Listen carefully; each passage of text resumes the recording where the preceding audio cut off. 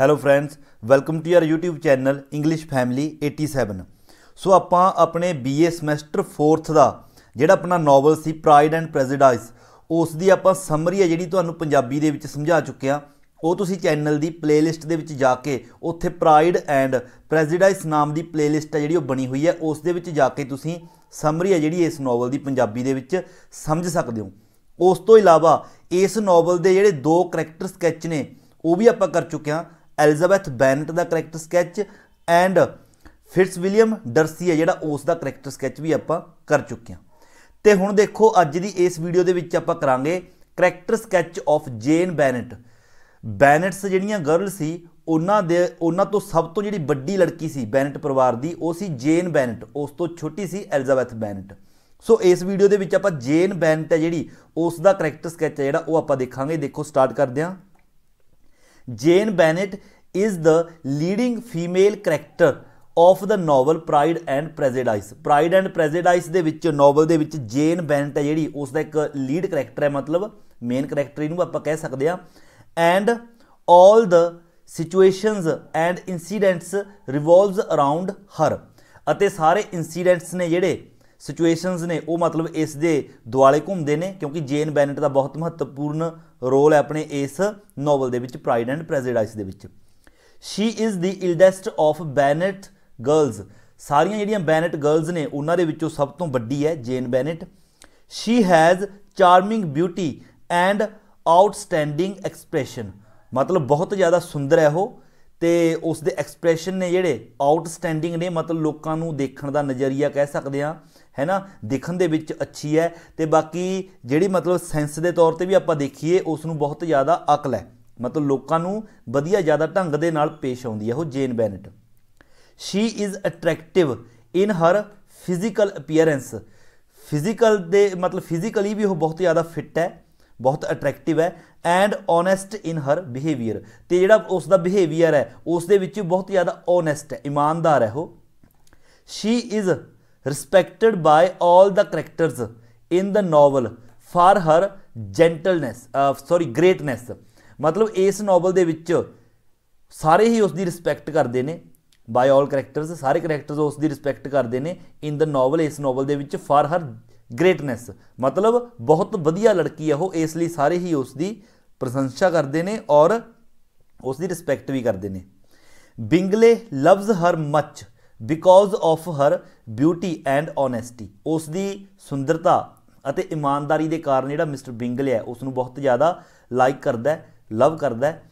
Darcy and mister Bingley's sisters also recognise her qualities ਜਿਹੜੇ Darcy ਹੈ ਜਿਹੜਾ, ਅਤੇ ਉਸ ਦੀ ਜਿਹੜੀ ਬਿੰਗਲੇ ਦੀ ਸਿਸਟਰ ਹੈ, ਉਹ ਵੀ ਮਤਲਬ ਜੇਨ ਬੈਨਟ ਦੀ ਜਿਹੜੀ ਕੁਆਲਿਟੀਆਂ ਨੇ, ਉਹਨਾਂ ਨੂੰ ਪਹਿਚਾਨਦੇ ਨੇ ਰਿਕੋਗਨਾਈਜ਼ ਕਰਦੇ ਨੇ ਪਹਿਚਾਨਦੇ ਨੇ। Toleration is the most important quality of her character ਜਿਹੜੀ ਟੋਲਰੇਸ਼ਨ ਹੈ ਸਹਿਨਸ਼ੀਲਤਾ ਹੈ ਉਸ ਦੇ ਕਰੈਕਟਰ ਦੀ ਇੱਕ ਇੰਪੋਰਟੈਂਟ ਕੁਆਲਿਟੀ ਹੈ ਉਸ ਦੇ ਵਿੱਚ। She is always ready to believe and think the best of others ਮਤਲਬ ਦੂਜਿਆਂ ਦੇ ਬਾਰੇ ਹਮੇਸ਼ਾ ਉਹ ਚੰਗਾ ਹੀ ਸੋਚਦੀ ਹੈ ਅਤੇ ਬਹੁਤ ਜਲਦੀ ਲੋਕਾਂ ਤੇ ਵਿਸ਼ਵਾਸ ਹੈ ਜਿਹੜਾ ਉਹ ਕਰਦੀ ਹੈ।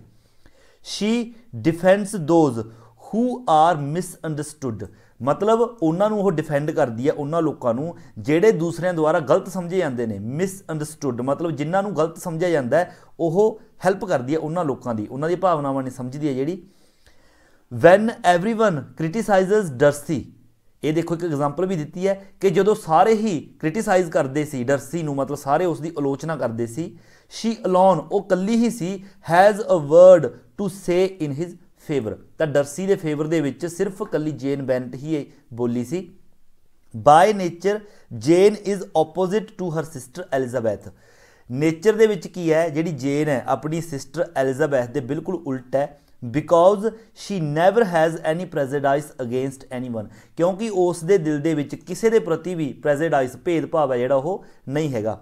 Elizabeth has Elizabeth has prejudice against other ਜਿਹੜੀ ਐਲਿਜ਼ਾਬੈਥ ਹੈ, ਉਹ ਦੂਜਿਆਂ ਦੇ ਪ੍ਰਤੀ ਭੇਦਭਾਵ ਰੱਖਦੀ ਹੈ but Jane is not suspicious about others ਪਰ ਜਿਹੜੀ ਜੇਨ ਹੈ, ਉਹ ਦੂਸਰਿਆਂ ਦੇ ਪ੍ਰਤੀ ਸ਼ੱਕੀ ਸੁਭਾਅ ਦੀ ਨਹੀਂ ਹੈਗੀ। ਜੇਨ ਇਜ਼ ਟੂ ਜੈਂਟਲ ਬਹੁਤ ਜ਼ਿਆਦਾ ਜੈਂਟਲ ਹੈ because she can't speak any harsh word to anyone ਕਿਉਂਕਿ ਕਿਸੇ ਨੂੰ ਵੀ ਉਹ ਕਠੋਰਤਾ ਦੇ ਨਾਲ ਨਹੀਂ ਬੋਲ ਸਕਦੀ। ਸ਼ੀ ਨੋਜ਼ ਥੈਟ ਉਹ ਜਾਣਦੀ ਹੈ she knows that Miss Bingley hates her ਉਹ ਜਾਣਦੀ ਹੈ ਕਿ ਜਿਹੜੀ ਮਿਸ ਬਿੰਗਲੇ ਹੈ ਉਸ ਨੂੰ ਨਫ਼ਰਤ ਕਰਦੀ ਹੈ but she tries to make her friend ਪਰ ਫਿਰ ਵੀ ਉਹ ਮਿਸ ਬਿੰਗਲੇ ਦੇ ਨਾਲ ਮਤਲਬ ਉਸ ਦੋਸਤੀ ਕਰਨ ਦੇ ਲਈ ਟਰਾਈ ਹੈ, ਜਿਹੜੀ ਉਹ ਕਰਦੀ ਰਹਿੰਦੀ ਹੈ। ਹਾਲਾਂਕਿ ਉਸ ਨੂੰ ਪਤਾ ਹੈ ਕਿ ਮਿਸ ਵਿੰਗਲੇ ਹੈ ਜਿਹੜੀ ਉਸ ਨੂੰ ਨਫ਼ਰਤ ਕਰਦੀ ਹੈ।